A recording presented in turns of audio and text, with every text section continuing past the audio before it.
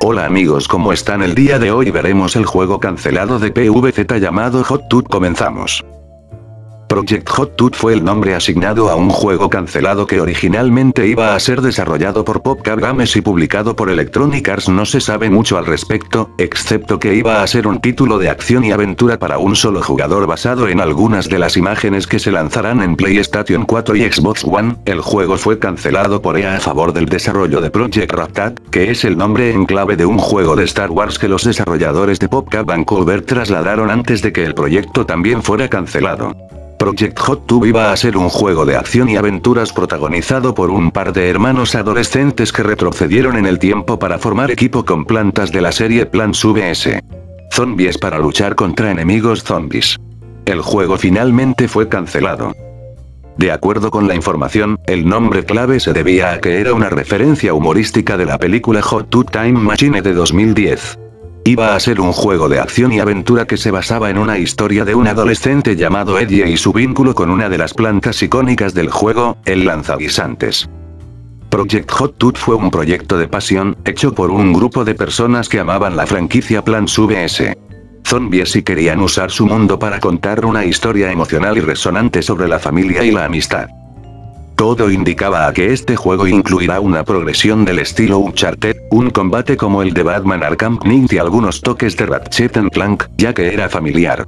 Sin embargo, a pesar de que todo marchaba bien y todo le favorecía, tuvo que ser cancelado en 2016 para mandar más recursos al juego de Star Wars que Visceral estaba desarrollando, pero como sabrán, este fue también cancelado. La historia habría estado centrada en dos hermanos adolescentes que tendrían que hacer equipo con las plantas protagonistas de la saga para luchar contra los zombies. Y todo ello en un viaje a través del tiempo que nos habría llevado a varias épocas históricas. A nivel jugable, cada planta nos daría unas habilidades distintas que tendríamos que usar según lo requiriese la situación. De haber llegado a buen puerto, el juego se habría lanzado en 2017, aunque EA decidió cancelarlo a finales de 2016 para reasignar a su equipo de desarrollo a otro proyecto el juego de Star Wars de Visceral Games.